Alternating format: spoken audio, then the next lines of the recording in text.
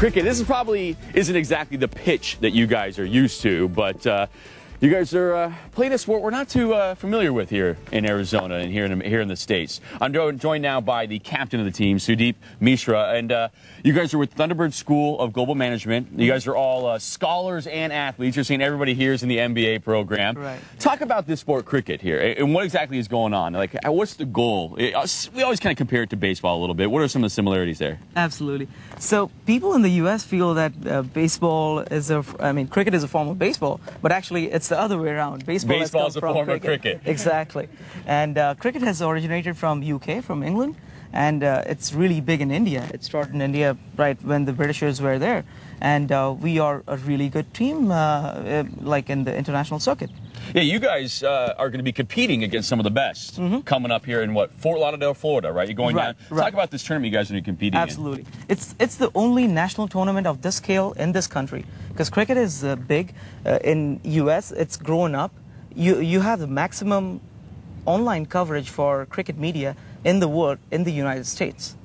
and, it's and- to all be right there in, in Florida. Right. So you guys are playing other colleges, other universities. About uh-huh. how many teams compete in this thing? Total of 21 teams. 21 which, teams. Which has the US national under 19 team as well. And you're the only Arizona team in there. Right, You're, you're our local heroes. You got to bring back the trophy for us, right? Definitely. Okay, let's talk about let's talk about this sport a little bit. Can you guys give us a little bit more of a demonstration, a little bit more of uh, some pitching and stuff like that, and you can kind of discuss what they're basically doing real quick here, Uh, and, and talk about that. Now, you are you're pitching, correct? You're going to be over there throwing, and I, I've been told that when you throw that sort of you have to keep your arms straight. Is that right? When you throw, and when you do that, I heard that. Your, your arm basically goes about the speed of a helicopter blade. Is that true, guys? that's, that's what I've been told. Some of the players in our team can do that, but uh, basically you have to bowl an overarm action, which is what uh, bowling in cricket has to be like. And it's a little different from baseball where you have a little sidearm. And that's what the bowler does. Who's you can compare it to the pitcher. Hey, in why don't you show us real quick, the, the bowler? Why don't you show us a couple throws? Okay, great.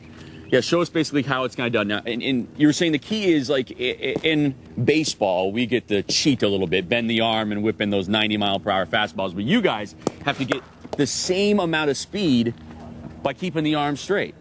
Yeah, so the bowlers here have to bowl at around 90 miles per hour, and I think our bowler here can come up to about 80 miles an hour. That's a fast bowler. Then we have spinners, which is a little different variation. What's the spinner? Spinner is like a curveball, I guess. Uh, it's it's a little different than a curveball because you, in, in cricket you actually pitch the ball and then it turns after pitching. So that's a ball who spins it uh, towards the leg side or the off side. So the goal is you have to have the ball, I guess, bounce once before he gets a chance to take a yeah, swing. yeah. You, you usually bounce And the you ball. normally have, I guess, a couple sticks back behind him. that there are three sticks at the back on each side. The And pitch is 22 yards long and three sticks on each side. Okay, and so you have to, as a bowler, you have to hit those sticks. Am I am I right? After taking out, yeah, Is that that's like- the that's the you get a goal of the bowler. Yeah, or you can get him catch out just like baseball. You can get get him catch out. And the ball here is not like a baseball for people at home. This thing is rock solid.